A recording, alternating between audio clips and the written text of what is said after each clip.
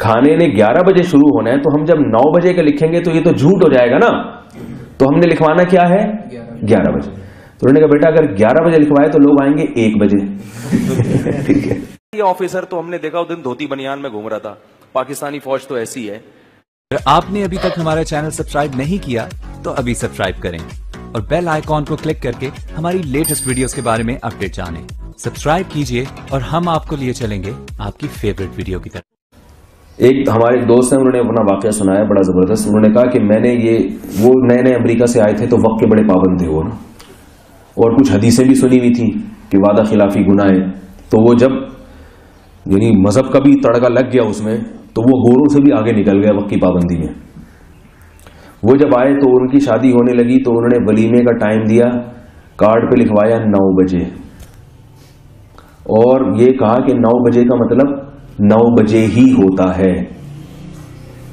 تو گھر والوں سے پوچھا، کھانا شروع کب ہوگا؟ تو ان کے والد نے، والدہ نے بتایا کہ بیٹا، کھانا لکھا نو بجے، لیکن شروع دس بجے، گیارہ بجے ہوگا، سوری، دس نہیں، دو گھنٹے لیٹ ہوتا ہے۔ گیارہ بجے کھانا شروع ہوگا۔ انہوں نے کہا، پھر کارڈ پہ لکھوائیں کہ گیارہ بجے۔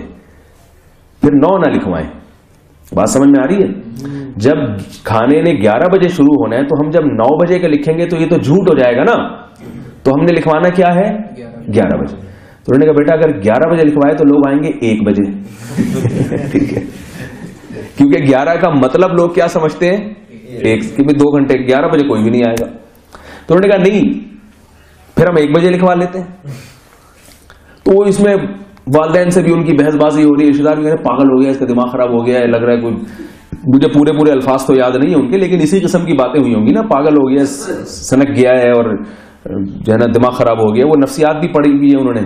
امریکہ کی کسی یونیورسٹی میں نفسیات میں انہوں نے ماسٹر کیا ہے، تو شاید نفسیات پڑھ پڑھ کے خود نفسیاتی بن گیا ہے تو وہ گھر والے سمجھ رہے تھے، یہ امریکہ سے نفسیات پڑھ کر آئے ہیں، تو یہ بھی کیا ہو گئے ہیں؟ پاگل ہو گئے۔ تو نو بجے کا مطلب نو بجے۔ تو یہ بحث چلتی رہی چلتی رہی، انہوں نے کہا ٹھیک ہے، پھر نو بجے لکھواؤ، لیکن یہ لکھواؤ کہ نو بجے کا مطلب کیا ہے؟ نو بجے ہی ہے۔ اب ہوا کیا؟ یہ ٹائم کے پابند تھے نا، پاکستان میں ٹائم کے پابند۔ یہ واقعہ بڑا ہے، واقعہ نہیں ہے میں سمجھا رہا ہوں کہ صرف شادی میں نہیں ہر چیز میں ایسے ہو رہا ہے، ہر چیز میں۔ تو نہ دین کی ترقی ہو سکتی ہے، نہ دنیا کی ترقی۔ پھر جنت کے خواب دیکھنا چھوڑ دیں۔ کیونکہ جو چیزیں دنیا میں کامیابی کے جو اصول ہیں، وہی آخرت میں کامیابی کے اصول ہیں۔ دنیا میں کامیابی کے اصول جب دوڑ میں جیتنا ہے اور وقت کی پابندی ہے، تو آخرت میں کامیابی بھی اس کے بغیر نہیں ہو سکتی۔ تو چھوڑ دیں یہ ساری سلسلے۔ کچھ بھی نہیں ملے گا۔ تو انہوں نے کیا کیا؟ کارڈ پہ کیا لکھوایا؟ نو بجے۔ اب نو بجے تو بیوٹی پارلر میں دلہن گئی ہے۔ اچھا ولیمہ تھا، شادی ہو چکی تھی، ولیمہ تھا۔ اب دلہن جب بیوٹی پارلر میں وہ کہہ رہے ہیں نو بجے جا رہی ہے، تو دلہن کے بغیر تو نہیں یہ پہنچیں گے نا؟ یہ پہنچ گئے۔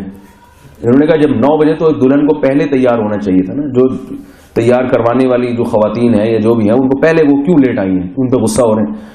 تو وہ پہنچ گئے نو بجے۔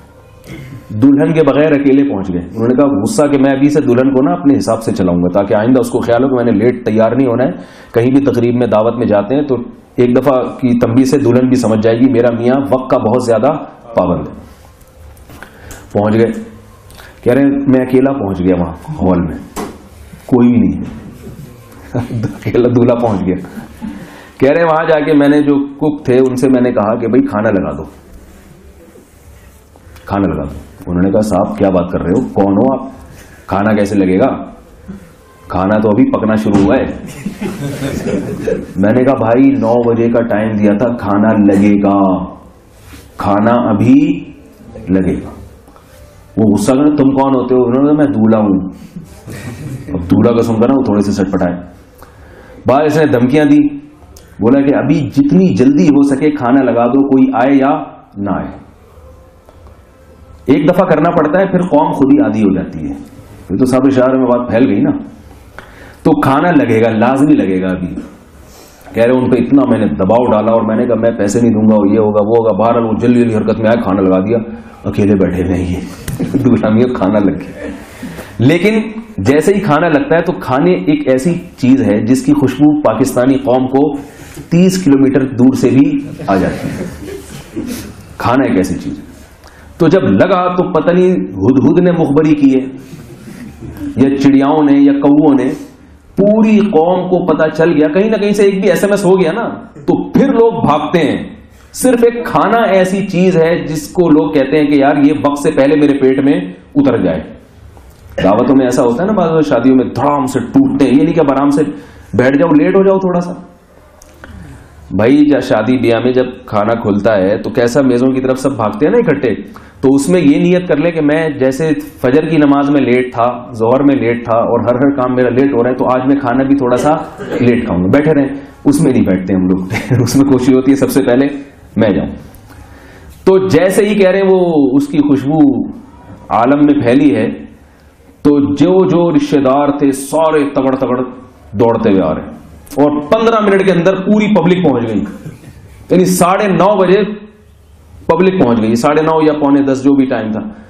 جتنی دیر میں کھانا تیار ہوا، جلدی جلدی انہوں نے کیا تو پہنچ گئے سارے۔ اب پہنچ گئے تو میسج چل رہے ہیں۔ اچھا کہہ رہے ہیں، میں نے عجیب منظر دیکھا کہ کچھ لوگ باہر کھڑے ہوئے ہیں جو انوائٹ نہیں تھے، لیکن وہ صرف یہ منظر دیکھ رہے ہیں شادی ہال میں۔ تو ہم نے ان سے پوچھا، بھائی، تم لوگ کون ہو? تو کہتے ہیں، ہمیں بتایا گیا تھا کہ اس بندے کی شادی ہو رہی ہے، دیکھیں ضرور جا کے. اس کے بارے میں مشہور تھا کہ یہ وقت پر کام کرتا ہے۔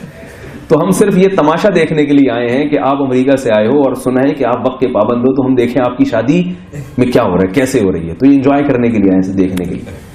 اس کے بعد سب رشتے داروں کو پتا چل گیا کہ یہ جب نو بجے کہے گا تو اس کا مطلب کیا ہوگا؟ نو بجے۔ ایک دفعہ سمجھا دی اب بیگم کو جب وہ کہتے ہیں بیگم فلاں جگہ جانا ہے شادی بیاہ میں تقریب میں آٹھ بجے تو بیگم صاحبہ آٹھ بجے تیار ہو کے پہلے سے بیٹھ تو دوستو اسی طرح کی مزید ویڈیوز دیکھنے کے لیے چینل کو سبسکرائب کیجیے۔